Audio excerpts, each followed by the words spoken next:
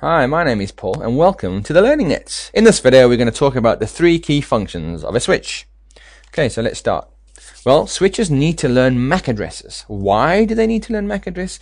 Well, for to, for um, devices to have end-to-end communication, we need to go through the seven layers of the OSI model, and typically at some point we'll get to layer three, and we will know about the destination's IP because either I've typed in a name or I've typed in an IP address for me to find him, but I will not know initially about his layer 2 address, his MAC address. So I would need to learn that. So what, um, in this example, PCA would need to do to discover PCB's MAC address is send out an ARP, an address resolution protocol. And all that is, is a broadcast that goes across the network saying, who has this IP address? Every device will receive it. And if you look at your network cards on your PCs in your organization, you'll see the network light will flicker just once. Uh, and eventually one of them will say, hey, that's my IP address and it will reply with its own MAC address associated with that IP address. And that's how we communicate end to end on our Ethernet networks. Switches are a key part of that process, and switches remember uh, MAC addresses. They remember what port MAC addresses came in from, and that way they can make quick decisions um, on where to send information around the network. So let's look how they learn that. When switches first um, boot up, the MAC address tables are empty, and that's where they store the MAC address, obviously, in its MAC address table, or its CAM table, its context accessible memory table. It will store the information that it's learnt in there. That information is stored in RAM, so obviously when the switch reboots, it loses that information. So I'd have to relearn everything all over again. Okay, so in this instance, the switch has just restarted. I've got two computers connected to my switch. A wants to talk to B. The very first thing that A is going to do is do an ARP. And at this point, the ARP's going to hit port 1, and the switch is going to go, look at this. I've just received a frame on port 1 with a source MAC address of A. So he's going to mark on port 1, well, that's where uh, PCA lives. That's where that MAC address belongs. It will then send a broadcast out all its ports because that is the rule. Whenever I receive a broadcast, I must send the broadcast out on all the ports apart from the port from where it came. Okay, so in this instance, it will send out all the all the ports uh, including port 24 where PCB is attached. PCB will say, yes, this is my IP address. Here we go. Take my MAC address. Okay, and this is where the switch will now learn. Well, look at this. I've just received a frame from PCB on port 24. And it'll put that down in its MAC address table as PCB's MAC address on port 24. And that's how they learn about each other. So all the devices will do this initially. And the switch will record all the devices' source MAC addresses and all the ports they belong to. And then eventually, once uh, this process is, is completed, the switch can now make its first intelligent decision. So whenever A needs to talk to B, it doesn't have to do that process all over again. It's just going to send the information directly between port 1 and port 24, because that's all that needs to, they are the only two devices that need to communicate with each other in this instance. That's how they make, that's how they learn MAC addresses, and that's how they make intelligent decisions. Okay.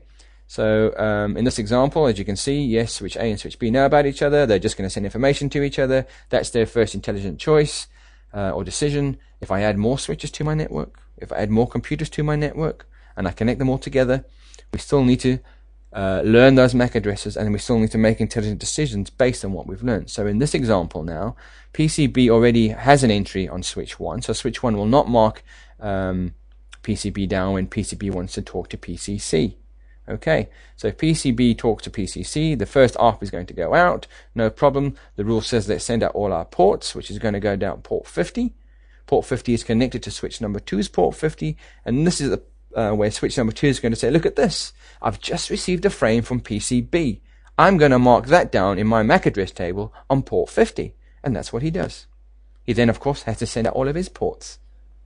And at this point, hopefully, there's a PC on this switch that has this IP address and it's going to respond. And in this instance, it's PCC.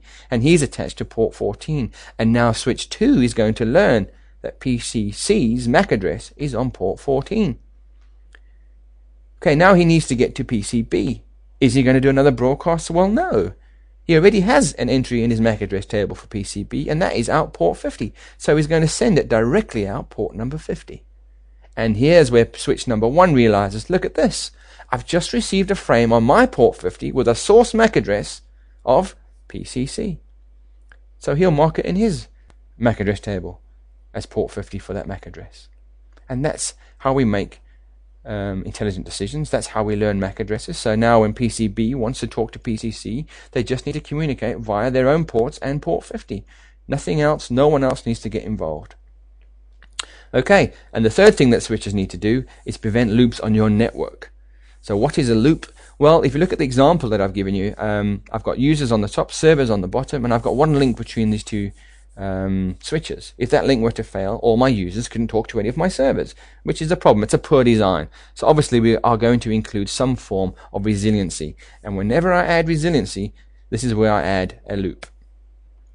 Okay, so as you can see, I've added another link, and if I add that link, I've effectively created a loop because uh, those initial broadcasts or those initial ARPs from the um, top switch are going to go down my my uh, main link, but they're also going to go back up the link I've just added. I mean, that is the rule. The rule says if I receive a broadcast, I must send it out all my ports, and that would include the uplink that I've just added to this um, to this network, uh, the redundant link that I've just added.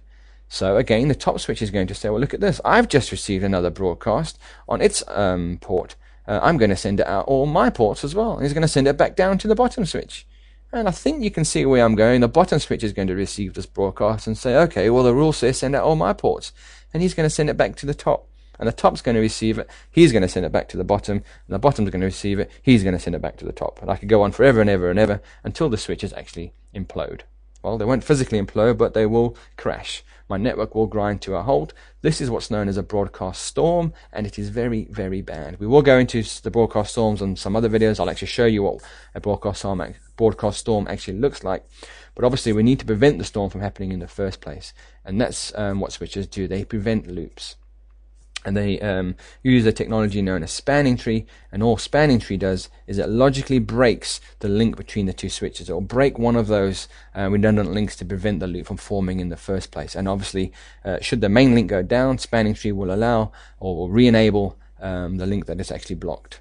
And we'll talk about spanning tree in great detail in a number of different videos um, on um, in this series. Okay. Well, my name is Paul.